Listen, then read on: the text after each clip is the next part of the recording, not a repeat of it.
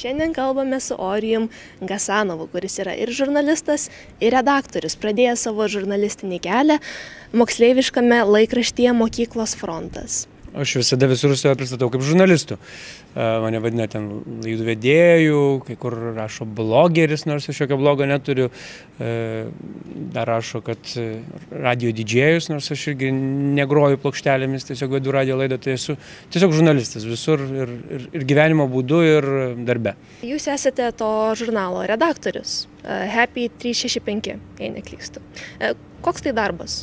Pas mus nėra žurnalistų, yra pas mus redak, dvi redaktoriai ir du redaktoriai. Tai mes ir rašom straipsnius, ir ieškom temų, ir redaguojame freelancerių, vadinamų netatinių darbuotojų tekstus. Tai va, tai toks darbas yra iš esmės daryti žurnalą nuo mes darom viską, kadangi mes esame labai maža kompanija, nesame didžiulis žiniasklaidos koncernas, tai ką aš darau? Aš ieškau temų, aš tas temas rašau, jeigu būna užsienė, tai aš jas fotografuoju. Aš dar ieškau reklamos žurnalui, rūpinuosi žurnalo platinimu. Kartu su vyriausia redaktorė važiuoju į spaustuvę, paimti žurnalą ir vežu į firmas, kurios žurnalą pardavinėja.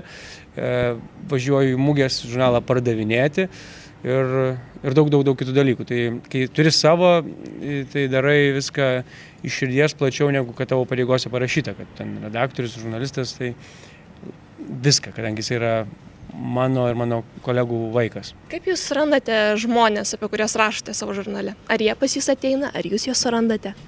Įvairiai, kadangi ne pirmus metus dirbu žurnalistų, tai man daug kas žmonės rašo patys savo istorijas, o apskritai aš savo istorijų, savo pašnekovų ieškusi kiekvieną dieną visur, kur bebūčiau. Tai ar prekybos centre, stovėdamas kasoje, ar, ar, ar, ar keliaudamas, ar kitas dar būdas, aš skaitau daug, daug, daug regioninės spaudos, laikraščių, naujienų portalų ir ieškausi tenais, mažose miesteliuose, kaimeliuose ir taip toliau.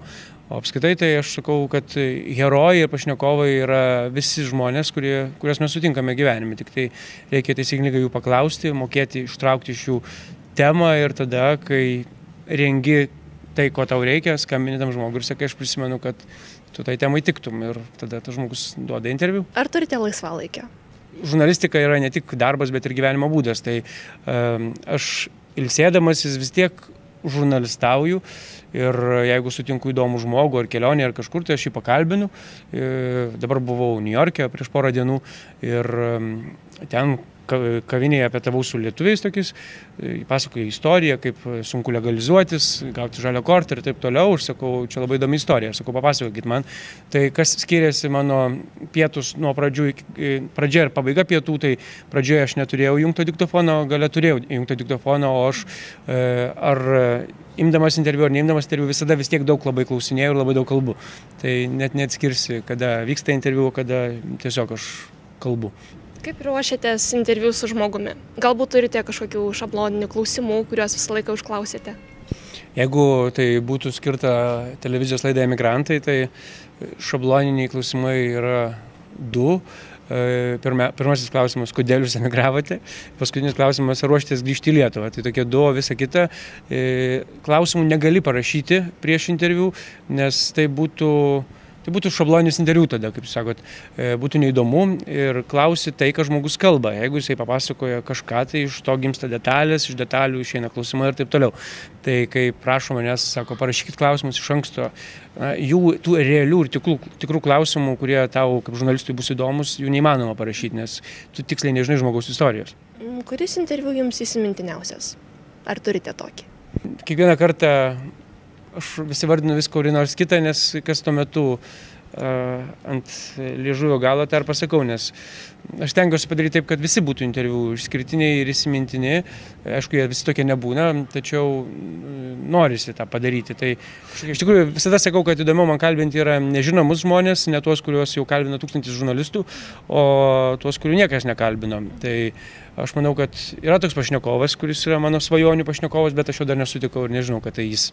Koks yra žurnalisto idealas? į ką jūs lygiuojatės? Lietuvoje daug gerų žurnalistų yra. E, lygiuotis aš nieką nesilygiuoju ir nesistengiu ko nors kopijuoti, nes e, niekada nebūsi antras Edmundas Jekilaitis, Algymantas Čekuolis ar, ar Marijonas Mikutavičius, visada reikia būti individualiu, e, kitokiu ir, ir tai turbūt yra pagrindinis ėjimo į priekį dalykas, nes jeigu bandysi kopijuoti, tau nesiseks, tada žiūrėk gausias kažkoks toks nevykėlis ir panašiai. Tai neturiu aš mm, tokio idealo, bet man labai patinka e, CNN žurnalistas Andersas Cooperis, e, jis toks žilas vyriškis, mm, o patinka man jis todėl, kad jis gyvena mano svajonių gyvenimą, man taip atrodo. E, jis kiekvieną dieną būna kitam pasaulio krašte ir būna ten, kur vyksta pagrindiniai pasaulio dalykai. Jeigu šiandien sprogo bomba Indijoje, tai jis rytoj bus Indijoje.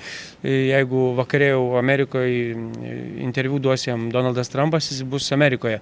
Tai vat, tas patinka, kad tas žmogus atrodo keliauja laiku ir gauna visko, ko jisai nori. Aišku, aš manau, kad už jo nugaros dirba didžiulis būris redaktorių ir jo komandos, kuri paruošia viskam tam. Bet tai, ką jisai parodo, yra nuostabu. Daugiau aš nieko nemoku daryti. Nieko nebandžiau, aš dirbau lankstinukų dalintojų, bet tai nepelninga ir e, nerekomenduoju visą gyvenimą lankstinukus dalinti. Tai, o žurnalistika gali būti ir pelninga ir, ir įdomu man, tai dėl to aš čia ir esu.